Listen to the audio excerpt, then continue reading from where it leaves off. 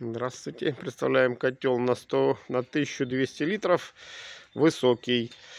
Стоит 6 стенов выше конуса. Это кран уровня у нас. Вниз подаем теплоноситель сюда выходит.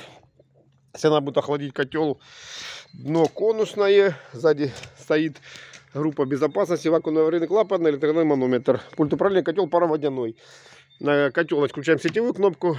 И получается 6 стенов по 7 киловатт, 42 киловатта. Терморегулятор продукта. Это для просвещения температуры загорится желтая лампочка. Это значит нет воды. Надо будет воду долить. Включение мешалка. Мешалка работает либо в одну сторону, либо в другую. Регулируем резистором либо быстрее, либо медленней.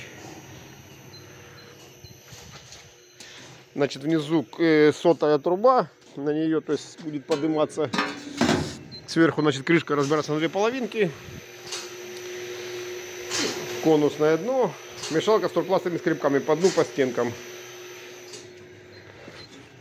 есть, либо в одну сторону переключаем, со скребками работаем в другую сторону. Ну, крышка, то есть, разбираться на две половинки. Мешалка работает. Закрываем крышку. Все, котел готов к работе.